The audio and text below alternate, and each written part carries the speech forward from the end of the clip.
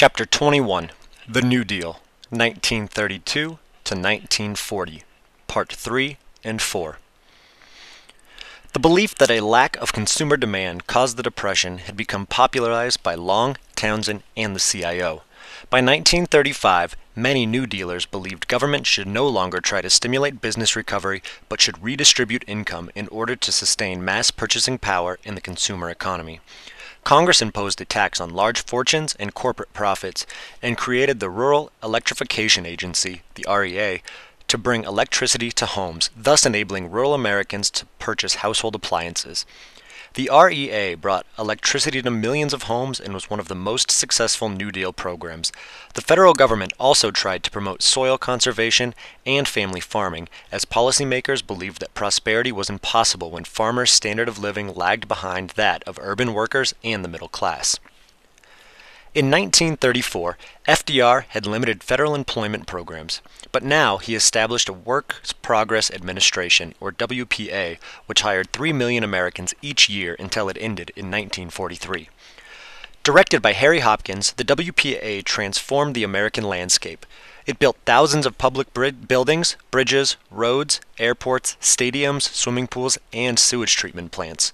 The WPA even employed white collar professionals. The most famous WPA projects were in the arts and included murals, historical, and tourist guidebooks, and also in federal theater and dance projects. In 1935, Congress also created a National Youth Administration to provide relief to American teenagers and young adults. The Wagner Act was another major Second New Deal measure. It democratized the American workplace by empowering the National Labor Relations Board to supervise elections in which employees voted on union representation. Sponsored by Robert Wagner of New York, the bill also made illegal unfair labor practices, such as firing and blacklisting union organizers that had stymied organization in the past.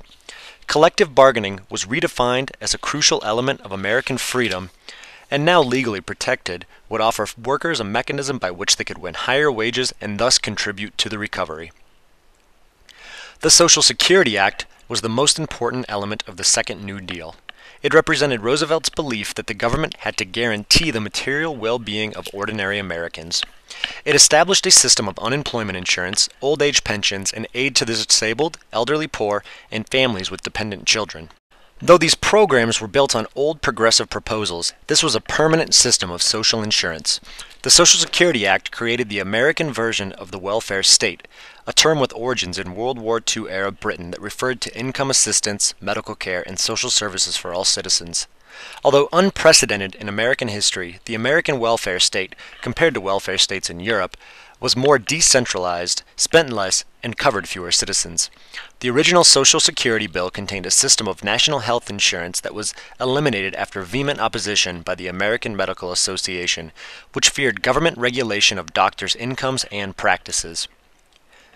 While some New Dealers wanted a universal program funded by general tax revenues with a single set of eligibility standards administered by federal officials, Secretary of Labor Frances Perkins and powerful congressmen wanted to keep relief in state and local hands and make workers contribute to the costs of their own benefits. FDR wanted Social Security taxes to come from employers and workers rather than general revenues in order to give working citizens a legal, moral, and political right to collect their old age pensions and unemployment benefits, which Congress would not dare violate. Thus, Social Security became a mixture of national and local funding, control, and eligibility standards. Old age pensions were administered nationally but paid for by taxes on workers and employers. These taxes also paid for unemployment insurance, but this was decentralized, allowing states to set unemployment benefit levels. The states paid most of the costs for direct poor relief in a program called Aid to Dependent Children, and eligibility and payment varied greatly. Social Security was a significant departure in American government's traditional function, and the Second New Deal dramatically changed the relationship between the federal government and American citizens. Before the 1930s, Americans asked whether the government should intervene in the economy. After the New Deal, Americans asked only how the government should intervene. The Depression ensured that Americans would face, in the words of one writer, a reckoning with liberty. FDR declared that for too many Americans, life was no longer free, liberty no longer real, men no longer follow the pursuit of happiness. most Americans assumed that liberty required a new meaning. The New Deal transformed the idea of freedom by tying it to the growing power of the national government. Roosevelt was not just a master politician, but also a brilliant communicator, and when his opponent controlling most newspapers, he turned to the radio to reach Americans with weekly broadcasts called fireside chats in order to build support for his policies. FDR adopted old terms and ideas to defend his innovative policies, most notably liberalism, which he redefined as large, active, and socially conscious government. In his second fireside chat, Roosevelt contrasted the older notion of liberty as liberty of contract, which served the privileged few, to his definition of liberty as greater security for the average man. He continued to positively associate freedom with economic security and identify economic inequality as its greatest foe. Yet, liberty, defined as freedom from powerful government, animated his opponents. They argued that New Deal spending undermined fiscal responsibility and that new regulations suppressed American freedom. Conservative businessmen and politicians formed an organization to oppose his policies called the American Liberty League. As the 1930s went on, his opponents increasingly employed the language of liberty to paint FDR as a dictator who threatened traditional American freedoms. By 1936, politics reflected class divisions more than at any other point in American history. Working class voters provided a large majority for the Democratic Party, and large and small businessmen were alienated from the New Deal. Americans divided over their definitions of liberty.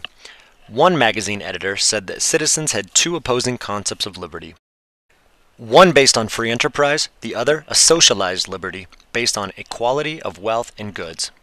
A fight over this ideal of freedom defined the 1936 presidential campaign. The Democrats insisted that in a modern economy, the government is obliged to guarantee a democracy of opportunity for all. Roosevelt, in his speech accepting the nomination, attacked economic royalists who intended to establish a tyranny over ordinary people. He insisted that economic rights were the precondition for liberty and that poor men are not free men. FDR argued that large corporations constituted a new despotism that threatened economic freedom. FDR faced Republican nominee and former Kansas Governor Alfred Landon, who denounced Social Security and other New Deal programs as a threat to individual liberty. Roosevelt, however, won by a landslide, carrying every state except for Maine and Vermont. Strong support from organized labor and his ability to unite Southern white and Northern black voters, Protestant farmers and urban Catholic and Jewish ethnics, and industrial workers and middle class homeowners won him the election. These groups formed the so called New Deal coalition that dominated American politics for the next 50 years. At his inauguration, FDR admitted the Depression was not over and promised to do more to help the significant minority of Americans still in need of assistance. Encouraged by his massive victory, Roosevelt committed what many believe was an enormous error. Arguing that several Supreme Court justices were too old to perform their functions, he proposed that the president be allowed to appoint a new justice for each who remained on the court past age 70, which were six at the time. FDR's goal was to change the balance of power on a court that might invalidate Social Security, the Wagner Act, and other parts of the Second New Deal. Immediately, FDR was criticized as an aspiring dictator. Congress rejected the plan, but Roosevelt influenced the Supreme Court as the court packing threat seemed to persuade the court to accept economic regulation by the state and federal governments. The court soon upheld a minimum wage law, affirmed federal power to regulate wages, hours, child labor, and rejected challenges to Social Security and the Wagner Act. Chief Justice Charles Evan Hughes said that while freedom of contract did not appear in the Constitution, liberty did, and it required legal protections against social evils that menace the people's welfare. The Second New Deal slowed after the court packing fight, although the Housing Act passed in 1937 signaled the first major effort to build homes for the poorest in America. The Fair Labor Standards Bill languished in Congress for a year before it passed in 1938, banning goods produced by child labor, setting a minimum wage, and requiring overtime pay for more than 40 hours of work per week. This established federal regulation of wages and working conditions, a radical departure from pre Depression policies. In 1937, the economy slumped sharply after FDR, who saw economic improvements in 1936, had decreased federal farm and WPA work relief. This caused business investment, production, and stocks to also fall and unemployment to rise. In 1936, in the General Theory of Employment, Interest, and Money, John Maynard Keynes criticized economists' commitment to balanced budgets. He argued that massive government spending was needed, even at the cost of deficits, to sustain purchasing power and stimulate economic activity during downturns. By 1938, Roosevelt adopted this solution, known as Keynesian economics, and he asked Congress for billions for more work relief and farm aid. The New Deal had shifted from economic planning to economic redistribution to public spending. The Second New Deal was over. Chapter 21, Part 4 Roosevelt conceived of the Second New Deal's assistance to broad groups of needy Americans, the unemployed, elderly, and dependent, as a right of citizenship, not a special privilege. But the realities of inherited ideas about gender and black disenfranchisement in the South powerfully affected legislation. The New Deal affected different groups of Americans in very different ways. The New Deal incorporated women into government more than any previous administration. A number of talented women, such as Secretary of Labor France Perkins, advised the president and affected policy. Most well known was Eleanor Roosevelt, who became the first modern First Lady, using her position for the reform in civil rights, labor laws, and work relief. But organized feminism was absent in the 1930s. The Depression actually provoked calls for women to leave the labor market in order to open up jobs for unemployed men. The federal government enacted laws that led to the dismissal of female government employees, and many private employers prohibited married women from jobs. Even the CIO, which organized female workers, adhered to the notion that women should be supported by men. The ideal of the male head household powerfully shaped social policy. Because paying taxes on wages made one eligible for the most generous Social Security programs, old age pensions, and unemployment insurance, they did not cover most women because they did not work outside of the home. The program excluded the 3 million mostly female domestic workers. Although Roosevelt strived to portray the federal government as representing all people in America, the power of the Solid South molded the New Deal welfare state into an entitlement of white Americans. With black disenfranchisement, Democrats controlled the South. Southern Democratic members of Congress were elected again and again by tiny white electorates. Because committee chairmanships rested on seniority, Southerners, once the Democrats took control of Congress in 1933, took the key leadership positions.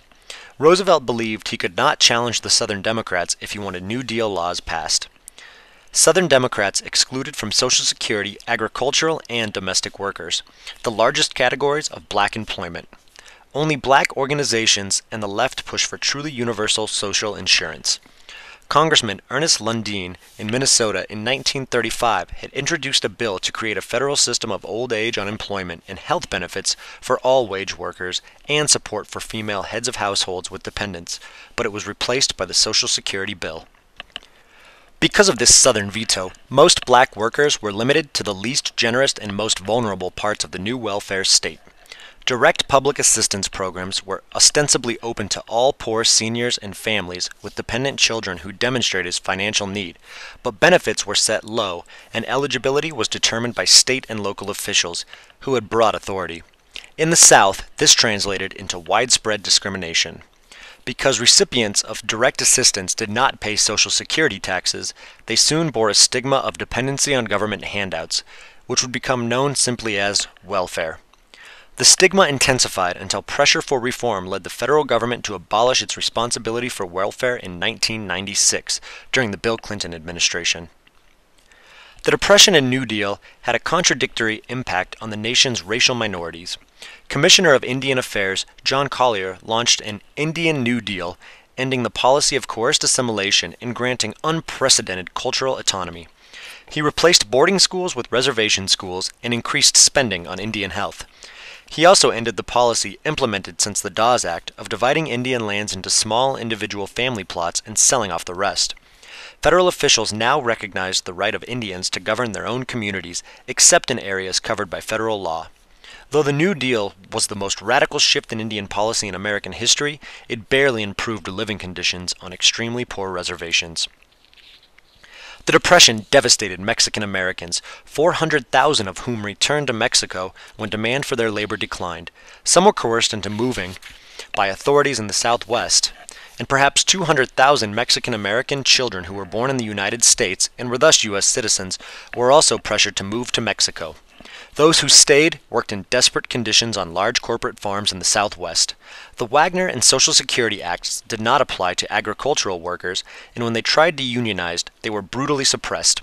Mexican American leaders tried to develop a strategy to claim rights as white Americans, but they also sought support from the Mexican government and promoted a mystical sense of pride and identification with Mexican heritage, later given the name La Raza. Always last hired and first fired, African Americans suffered the most in the Depression. Blacks who kept their jobs now competed with unemployed whites. Facing an unemployment rate twice that of whites, blacks benefited less from direct government relief and public works projects. The Depression forced blacks to make economic survival their primary demand. Even W.E.B. Du Bois surrendered his hopes for racial integration and urged blacks to think of themselves as a nation within a nation. He urged blacks to build an independent, cooperative economy with their own communities and take control of separate schools. While Roosevelt seemed little interested in race relations or civil rights, he appointed Mary McLeod Bethune, a well known black educator, as his advisor on minority affairs and other blacks to positions. Key members of his administration included his wife and Secretary of the Interior, Harold Ickes, criticized segregation, disenfranchisement, and lynching. Blacks generally supported the New Deal and started voting for the Democratic Party, shifting away from their traditional support for Republicans. Their hopes for broader changes were stymied by white Southern Democrats' influence in the party. Federal housing policy powerfully reinforced residential segregations and showed the limitations of New Deal freedom. Local officials implemented national housing policy in ways that reinforced existing racial discrimination. Nearly all municipalities in both North and South insisted that housing sponsored by the federal government be racially segregated. The Federal Housing Administration also insured mortgages that contained clauses barring future sale to non whites. Federal employment practices also engaged in racial discrimination. In the federal government, few blacks held skilled or professional positions, and in the South, many New Deal construction progress refused to hire blacks. The New Deal's modernization of Southern agricultural led large landowners to displace tenant farmers, many of whom were blacks, from their lands. Only with the Great Society programs of the 1960s was the welfare state extended in ways to fully incorporate black Americans.